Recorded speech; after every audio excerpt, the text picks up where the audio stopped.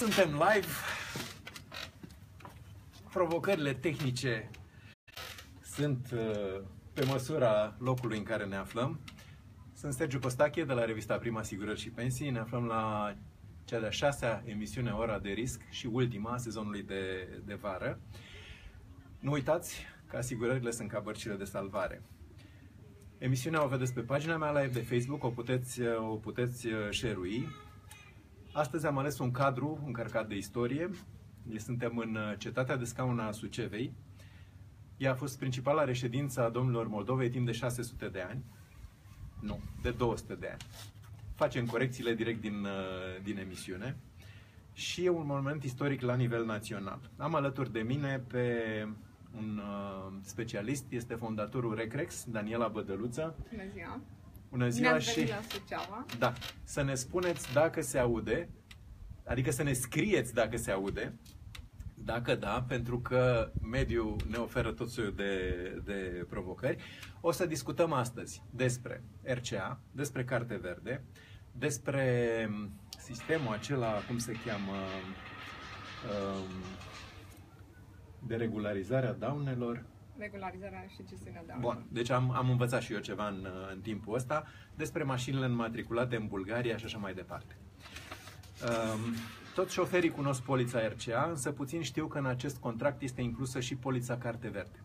Polița Carte Verde este echivalentul RCA-ului atunci când tu te afli în străinătate cu uh, mașina. Circul în afara granițelor României. Doamna Bădeluță, înțeleg românii sistemul Carte Verde? Îl înțeleg atunci când au un accident cu o mașină matriculată în alt stat european și trebuie să apeleze la Biroul Asiguratorilor Auto din România. Uh, și atunci înțeleg că este o poliță și este o daună în sistemul Carte Verde și gestionarea uh, acestei daune se face în uh, acest sistem Carte Verde. Deci înțeleg la nevoie. Da, cel mai des. Ok. În acest sistem Carte Verde, asigurătorii din Bulgaria au cele mai multe daune din cauza fenomenului mașinilor înmatriculate în Bulgaria. Știți, taxa de mediu la noi e mare, taxa în Bulgaria este mică, sunt înmatriculate acolo. Din datele statistice, câte mașini din Bulgaria matriculate în Bulgaria circulă în momentul ăsta în uh, România? Uh, fenomenul, să luăm povestea, să spunem pe scurt, uh, fenomenul a început în anul 2007, uh, 2007 el a luat amploare cât mai mult pentru că taxa auto era foarte mare în, în România. Uh, a ajuns undeva la 200.000 de mașini, iar astăzi este o scădere cu 30-40% datorită scoaterii uh, acestei taxe. Nu mai există taxa auto în România. Dar, în schimb, fenomenul nu s-a stopat. Dacă înainte se matriculau în jur de 2-300 de mașini, acum se matriculează în jur de 25 de mașini pe zi pentru acești utilizatori cetățeni români sau cetățeni străini care uh, folosesc mașinile matriculate în autovehiculele matriculate în Bulgaria pentru a circula în alte state europene, cel mai des întâlnindu-se în România, în Grecia, în Italia uh, și fapt pentru care se ajunge și la sistemul Carte Verde uh, și sistemul uh, care regularizează daunele în, uh, la nivel internațional. Bun, uh, întrebarea următoare este una foarte logică. Care este ponderea daunelor produse de mașinile înmatriculate în Bulgaria? Înțeleg că sunt cele mai multe. În totalul accidentelor carte verde în România. Deci, e un român, conduce o mașină înmatriculată în Bulgaria, deci are număr de Bulgaria, e în România, lovește o mașină din vina lui, o mașină înmatriculată în, în România. Care e ponderea? accidentelor. În 2016 au avut loc uh, 10.815 uh, sau s-au gestionat 10.815 dosare de daune în sistemul Carte Verde, iar din totalul acestor uh, daune, au, uh, 42%, aproape 42% au fost daune uh, cu mașinile matriculate în uh, Bulgaria. Ce vă mai pot spune că 12% de exemplu din uh, aceste daune au fost cu mașini matriculate în Germania. Acest fenomen vine mai mult pentru că se importă foarte multe mașini în Germania și se matriculează în România, iar uh, pe timpul tranziției uh, se produc multe daune. Uh, sunt și acei cetățeni români care au emigrat în Germania și care și vin, care cu... vin în, în vacanță, de, acum este sezonul acestor uh, daune. Mai sunt și mașinile matriculate în Spania, aproape 8%, mai sunt mașinile matriculate în Italia, în Franța. Uh, Ungaria, să nu o uităm, pentru că foarte multe mașini matriculate în Ungaria circulă în vestul României, e astfel uh, clar, riscul uh, asigurat să și produce, uh, inclusiv pe teritoriul României și să gestionează dauna în sistemul carte verde. Da, pentru că riscul este, este statistic și atunci dacă ai o pondere mai mare, cum sunt mașinile înmatriculate în Bulgaria, atunci și numărul de accidente este mai, exact. mai mare. Spuneam, Adinaur, Șoferii care au mașini înmatriculate în Bulgaria sunt cumva șoferi mai atenți decât ceilalți? Uh, nu aș putea să spun, însă nu aș putea să afirm asta. Adică Șoferii... procentele, procentele astea pe care le-am notat sunt... Uh...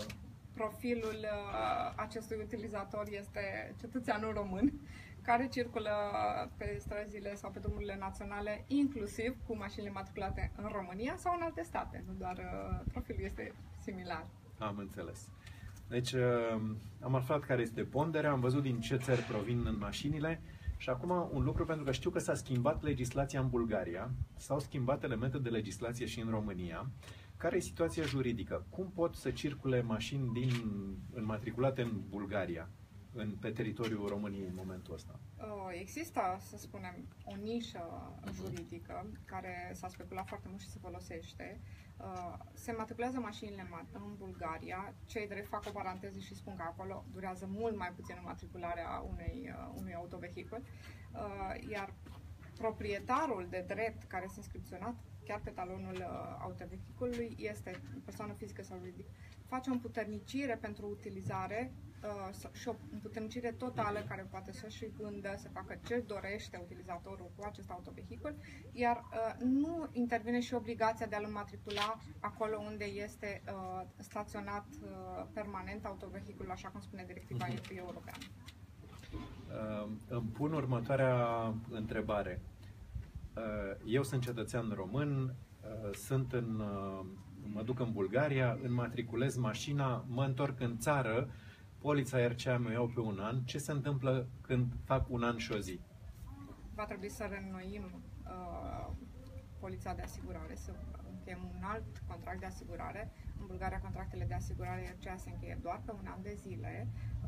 Uh, e un an uh, calendaristic sau un, un an, an de asigurare? Un an de asigurare. Ok. Uh, apoi, dacă nu închei o altă poliție de asigurare, un alt contract, uh, după 15 zile de când eu nu mai am o poliță uh, de asigurare valabilă, uh, se suspendă înmatricularea mașinii, iar conducerea acestui autovehicul este clar sub incidența codului penal și se deschide dosar penal pentru punerea în circulație unor autovehicul nematriculat și Poliția Română vreau să precizez că Poliția Română are toate pârghile pentru a verifica dacă aceste uh, polițe au polițe, uh, dacă aceste autovehicule au polițe uh, valabile și dacă sunt matriculate în, în Bulgaria. O luăm pe firul apei, am înțeles cum funcționează și înțeleg că polițiile celor două țări știu foarte bine situația da. și colaborează, între, colaborează și colaborează între ele. foarte bine. Da. Deci, practic, asta ar fi partea de sistem de, de carte verde. S-a schimbat acum legislația, a apărut o nouă normă uh, RCA, noua lege a RCA, să-i spunem așa. Până la urmă nici nu știu dacă este e lege noua. sau normă. E normă? Uh, mai întâi a apărut legea. Așa, legea hai să lămurim chestia da. asta. Întâi a apărut legea, da. Da, uh, legea 132 pe 2007 uh, și apoi ASF uh, a, a emis o normă de aplicare a acestei uh, acestei legi. Okay. Uh, fără, chiar dacă Parlamentul emite o, o, o lege. dă o lege, uh, în cazul nostru ASF-ul okay. este obligat să, să emită și o procedură. Cum aplicăm această, este norma de aplicare a legii 132 pe 2007. Ok, deci la început a fost legea, după care a venit ASF-ul și a dat uh, norma, norma. asta numește lumea noua normă RCA în această normă e un element care se numește decontare directă. Mie mi-a ridicat multe semne de întrebare. Se poate face, decontarea directă, m-am documentat, presupune că reparația să fie plătită de către asiguratorul RCA al păgubitului. Deci, eu sunt nevinovat, m-a lovit cineva, pot să repar mașina pe RCA-ul meu. și apoi asigurătorul meu își re- recuperează banii de la asigurătorul vinovatului. Deci nu mai intru eu direct în legătură cu compania vinovatului. Există niște condiții. Decontarea directă între asigurătorii RCA trebuie să îndeplinească cumulativ 1. Accidentele auto să fie pe teritoriul României. 2. Vehiculele implicate în accidentele auto să fie înmatriculate, înregistrate în România. Prejudiciile sunt produse exclusiv vehiculelor, deci nu sunt decât daune de natură materială. 4. Ambele vehicule implicate în accidentul auto au asigurare RCA valabilă la data evenimentului. Și ultimul punct, prejudiciile exclud vătămări corporale. Deci cum apare o rană cât de mică, din momentul ăla nu mai putem să facem decontare directă. Mă întorc la invitata mea, doamna Bădăruță. Uh, se poate face această uh, decontare directă și când un asigurător e român și celălalt este străin? Tu acum ai enumerat uh, sau ai citit din Am articolul făcut, o, 26. meca- am făcut o mecanic. Da, ai citit din articolul 26 al uh, legii uh, 132 pe 2017 uh, și acolo la punctul B spune foarte clar autovehicule implicate în acest accident trebuie să fie înmatriculate în România, iar în cazul unui accident cu un autovehicul străin, uh, matriculat în, într-o țară terță României, să spunem, nu, uh, nu, se poate, nu poate interveni în acest moment uh, decontarea directă. În uh, caz, uh, această decontare directă, și vreau să completez ceea ce ai spus, uh, este ca și în cazul casco. Atunci când avem o, o asigurare de tip casco, dacă avem un accident și noi nu suntem uh, persoana vinovată, suntem persoana pă- păgubită, mergem la asiguratorul casco, el ne face decontarea tuturor daunelor și apoi se duce în regres uh, către asiguratorul uh, vinovatului, să spunem în acest caz. În acest caz, dacă puteți să-mi spuneți cui se aplică bonus malus. În acest caz, uh, Deci, a am vorbit avut de două loc... cazuri. Da. Uh, vorbim de decontare directă. Ok. Uh, dumneavoastră sunteți nevinovată, eu sunt vinovat, dumneavoastră vă reparați mașina pe asigurarea RCA dumneavoastră. Da. prin Asigurătorul decontare directă. RCA vine la asigurătorul vinovatului și recuperează banii, dar bonus malusul, unde se, malusul de fapt unde se duce? La vinovat, bineînțeles. Deci malusul va fi la și nu la mine Nu. care am utilizat, la dumneavoastră care ați utilizat. Eu Ok. folosesc un serviciu prestat de asiguratorul meu, nu folosesc un serviciu sau nu are nicio legătură cu polița dumneavoastră. Întreb pentru că la casco, în momentul în care apelez la polița casco, mie îmi crește prima de asigurare. Corect? Pentru că am fost un șofer mai puțin atent și am făcut pagube din vina mea. Uh, nu ar trebui să fie același, lu- uh, acest lucru și în momentul în care sunteți păgubit și nu vinovat. Știu că există o meserie specială, un gen de companii, se cheamă regularizator de daune și am înțeles că aceștia vin în sprijinul păgubiților. Ce face mai exact un regularizator de daune? Regularizatorul de daune uh, gestionează în totalitate dauna uh, cu sau fără lichidare. Dacă vorbim de sistemul carte verde, așa cum este acest sistem, uh, corespondentul sau li- uh, regul- uh, gestionarul de daune face și lichidarea acestei uh, daune, adică face și plata. Ulterior, Regularizator sau gestionar e același lucru? da. Ok. Ok. De, spuneți-mi mai departe cum se întâmplă. Iar uh, uh, acest uh, regularizator sau gestionar de daună, el uh, face, uh, adună toate documentele, să vorbesc într-un limbaj mai comun, uh, toate documentele verifică că aceste documente sunt complete și complet uh, uh, sunt toate uh, Că nu lipsește veridice. nicio hârtie, am și tradus că, corect, da? Și că toate documentele sunt uh, corecte, uh, toate datele în documente Mhm. sunt corecte, apoi uh, se um, face constatarea acestor daune, Mhm. uh, dacă vorbim de daunele materiale, uh, apoi se transmite și informare către asiguratori, uh, asiguratorii căror suntem corespondenți. Uh, ulterior se face inclusiv o propunere de plată conform uh, acestor, uh, conform unor uh, sisteme specializate de calcul, Mhm. se transmite uh, către păgubit, iar păgubitul ulterior își primește uh, despăgubirea. Ceea ce mi-ați descris acum este o situație foarte, foarte, foarte, foarte complicată pe care se pare că o stăpâniți foarte bine și vorbiți cu ușurință despre, despre ea.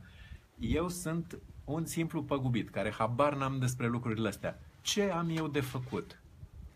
Simplu, M-am, ne-am lovit cu mașina. Dumneavoastră, luăm cazul, nevinovată și eu vinovat. Uh, mergem la regularizatorul de daune, cine merge? Dumneavoastră sau eu? realmente, conform legii, ar trebui să meargă persoana vinovată să uh, avizeze dauna uh, asiguratorului său. În practică, lucrurile nu stau chiar așa. Uh, Bun, noi astăzi o să vorbim despre partea practică. Deci spuneți-ne cum se desfășoară lucrurile astea în practică. persoana păgubită sau uh, partea vătămată apelează și uh, contactează regularizatorul de daune, iar acesta îl îndrumă care sunt toți pașii, așa ar trebui, iar vorbim în practică și de obicei și regularizatori de daune. Deci, practic, persoana nevinovată se duce la regularizatorul de daune, ar putea să se ducă și la propriul lui asigurător? În cazul casco, de exemplu, cum spuneam, Da. da. adineauri, sigur. sigur. Ok. Dar dacă vorbim uh, de daunele în, car- în sistemul carte verde și vorbim de decontarea directă conform noii legi, Mhm. uh, el se poate duce la asiguratorul său, dar asiguratorul său poate doar să-l îndrume care este uh, procedura și ce are de făcut în uh, care sunt pașii următori.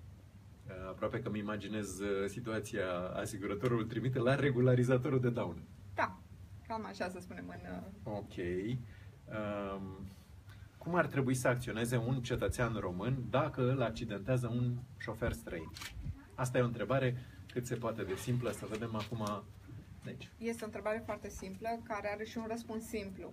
Uh, pentru uh, cine garantează toate despăgubirile atunci când vinovatul este o mașină uh, matriculată în altă țară, este Biroul Asiguratorilor Auto din România. deci B-A-A-R. Exact. Ok. Uh, acesta, ulterior, transmite datele de contact uh, ale corespondentului acelui asigurator străin sau el însuși face uh, um, gestionarea și inclusiv lichidarea daunei.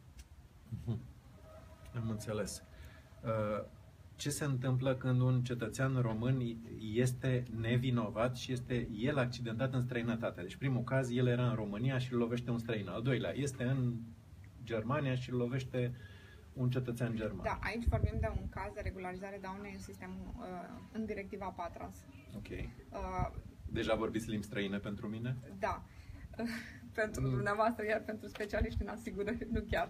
Directiva a patra, am notat. Da, în um, legislația, în uh, directiva 103 pe 2009 sunt cele două distinții, distin, Mhm. diferențe și Ok. în directiva 4, în sistemul de, din directiva 4, regularizarea de daune este pentru acel autovehicul, să spunem, român, în cazul nostru, care are un accident în um, străinătate cu un autovehicul matriculat în străinătate, iar dorește să-și despăgubească, să fie despăgubit în țara sa de origine. Iar în acest caz, uh, reluăm uh, Ok. exemplu spus. Eu sunt vinovatul, da? Da. Uh, străin, într-o țară străină produs accidentul, eu vin în țară la mine și contactez biroul, și, uh, au- uh, birou asiguratorul auto din România uh, să-mi spună care este reprezentantul de despăgubiri pentru, uh, acei, uh, pentru acel asigurator. Uh, Recrex înțeleg că este reprezentant de despăgubiri, Da, e gestionar în sistemul Carte Verde. și Am mai reprezentant notat de eu niște lucruri. despăgubiri Ok. pentru uh, diversi asiguratori din, uh, din alte țări. Acum, pentru că am terminat întrebările, o să intru într-un set de întrebări pe care mi le imaginez uh, acum. Uh, faptul că Recrex se află la Suceava, undeva excentric, așa în uh, partea de nord-est a României, în Bucovina, că să știți că Suceava e în Bucovina, nu este în, uh, în Moldova.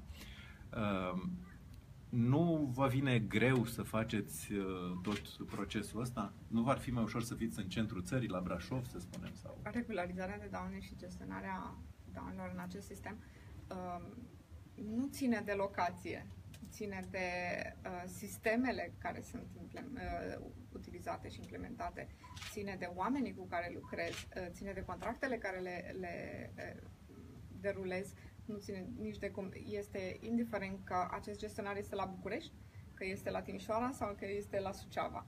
Noi ne facem la fel de ușor toată treaba pentru că avem toate resursele, chiar și așa sunt și descrise în condițiile impuse de către Biroul Asiguratorilor Auto din România pentru a putea gestiona acest uh, și pentru a desfășura această activitate. Deci n-ar conta dacă suntem la Vama Veche sau la Sfântul Gheorghe în Delta putea sau... să fim da? oriunde. Ok. Bun, deci nu contează, nu contează locul. Uh, Ne întoarcem la piața românească de asigurări. Este o piață dominată de asigurările uh, RCA și întrebarea mea ar fi uh, cum vedeți această piață după apariția noi, noilor norme privind uh, RCA-ul? Vă așteptați la îmbunătățiri uh, sau, cum spunea un invitat de-al meu, înainte să fie bine, ne va fi un pic mai greu? Cu siguranță toate schimbările produc un disconfort. Um, Dar această normă nu vine cu toate schimbările deodată, ea vine treptat. Uh, Au fost implementate, de exemplu, decontarea directă, ea a fost implementată treptat, și- dar vine în sprijinul clienților și va fi în îmbunătățirea acestor servicii care le prestează asiguratorii. Deci- Este un plus valoare. Deci, practic, noile, noua normă RCA vine... Nu alege, da? Da, nu a... Ok. Deci nu e normă, e lege. Și normă. Noua de lege RCA și normele ei de aplicare emise de către ASF, ASF. vin în sprijinul clienților. Da, este mult mai dedicată uh, clienților această lege. Uh, repet, îmbunătățește ce înseamnă serviciu uh, prestat de către asiguratori și garantează mai mult ca asiguratorii să își îndeplinească toate îndatoririle înscrise în contractul de asigurare. Bun. Um, vedeți această piață rămânând în continuare bazată pe RCA? Câțiva, câțiva ani și următorii ani, da. Câțiva ani și următorii Facem și, o, ani, da. facem și o estimare de timp? Uh, minim 5 ani. Minim. Minim Deci 5 cinci ani, da, pentru că va interveni uh, pentru dezvoltarea pieței și nu doar în România, asta s-a întâmplat în toate piețele. Uh, devine o educație financiară și o educație a contractării serviciilor. Sunt mai mulți factori care influențează uh, această dezvoltare a pieței de asigurări. Și cu toate că suntem foarte mulți uh, profesioniști în asigurări care credem că această piață trebuie să se dezvolte mai mult și pe mult mai multe alte produse. Și nu doar auto. Asta era următoarea întrebare. Care ar fi celelalte produse pe care credeți că se va dezvolta piața? Asigurările de sănătate. Deci, numărul 1. Numărul Numărul 2. Uh, numărul 2, deja este în dezvoltare piața auto, iar um, iarăși conform uh, noilor schimbări legislative, uh, asigurarea RCA, care este obligatorie și toată lumea o încheie pentru că este obligatorie, ea va fi un produs uh, cumulat de mai multe produse, un pachet de produse. Uh, acum putem să oferim clienților uh, din piața de asigurări și inclusiv pe lângă RCA și alte produse conexe și uh, facultative care îmbunătățesc, bineînțeles, uh, ce înseamnă produsul în asigurare. Am înțeles. Deci, uh, pe lângă auto am avea sănătate, am putea să avem property. Property, din nou, cred că va, se va dezvolta mult. Mi-am adus aminte de o Consider- întrebare pe care am vrut da. să vă o, să vă o pun. În ceea ce privește regularizarea de daune. Uh, Asta înseamnă numai auto sau regularizarea de daune se petrece și pe alte segmente? Regularizarea de daune se face în absolut toate segmentele de daună. Uh, e- Să luăm principiul asigurărilor. Ce Ok. înseamnă asigurări în trei mari module, nu? Odată administrarea a- uh, unui asigurator și tot ce înseamnă gestiunea sa, managementul. O altă parte este uh, canalul de vânzări, iar a treia parte este canalul de gestionare a daunei, care este și mm, Hai, Vă spun Scopul mai pe scurt. Deci principal. mai întâi luăm banii oamenilor, după care îi administrăm, după care plătim daunele. Pentru că Exact. trebuie să plătească daune. Pentru asta iau prime de asigurare, pentru asta le administrează și pentru asta ASF-ul supraveghează piața ca aceste companii să aibă în permanență suficiente lichidități ca să poată să plătească daunele. Problemele care au existat, provocările care au existat în trecut în, uh, în piață, au fost legate de faptul că unele companii nu mai erau capabile să plătească daunele, au intrat în faliment, au ieșit din piață, este vorba de um, Astra și de, și de Carpatica și aici sunt, uh, sunt multe lucruri de, de povestit. Nu o să intrăm, nu este subiectul emisiunii noastre de, de astăzi. Ne apropiem de finalul emisiunii. Suntem la Suceava, ne aflăm la ultima emisiune Ora de risc a sezonului de vară 2017.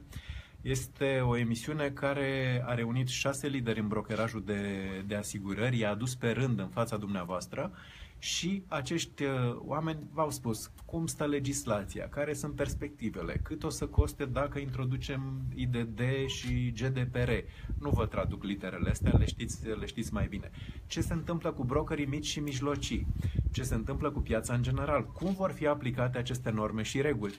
Toate lucrurile astea am făcut uh, tot posibilul să vi le uh, dezvăluim în aceste șase emisiuni de, de vară. Așa cum spuneam, uh, suntem la finalul emisiunii de, de astăzi. Suntem în cetatea Sucevei, bate vântul, peisajul este, este absolut uh, superb. Avem uh, doi colegi care ne-au, uh, ne-au ajutat la această transmisie. Aș vrea să mulțumesc, uh, o să vă rog un pic acum să mă lăsați pe mine, Aș vrea să mulțumesc uh, celor care, uh, care m-au ajutat, celor care au participat la toate aceste șase emisiuni, uh, cei care au trimis idei, comentarii, uh, sugestii și așa mai departe, celor care au participat la concursul dacă să fiu cu, o, cu ochelari de soare sau nu, ce fel de culoare de papion voi avea în ultima emisiune, unde se va desfășura aceasta. Toate lucrurile astea vin să creeze um, ceea ce se numește vizibilitate. Iar în cadrul emisiunii am avut invitați, așa cum este doamna Daniela Bădăluță, care ne-au explicat cum stau aceste lucruri, atât pe interesul celor, pe înțelesul celor care lucrează în asigurări, cât și pe al celor care sunt în afara pieței de asigurări. Dacă ar fi ca cei care ne privesc uh, astăzi, care ne-au privit, care ne-au privit cele șase ediții, să rețină un singur lucru din tot ce am povestit noi astăzi, care ar fi acela? Uh, așa cum am vorbit și înainte de, de emisiune, uh, vreau să rețineți de la emisiunea de astăzi că decontarea directă înseamnă îmbunătățirea unui serviciu în asigurări, unui produs de asigurare. Uh, chiar dacă este o schimbare, el cu timpul uh, va fi foarte firesc, așa cum este și în alte țări europene, nu doar uh, la noi. Deci, decontarea directă, un serviciu de nivel european care vine să îmbunătățească viața și experiența clienților. Atenție, el costă niște bani în plus, Cu Uh, însă există două riscuri. Acela de a fi despăgubit de către asigurătorul persoanei vinovate și acela s-ar putea să nu se afle întotdeauna într-o, într-o situație financiară favorabilă și să aveți probleme, să intre în faliment, să dureze un an, doi până recuperați banii și așa mai departe.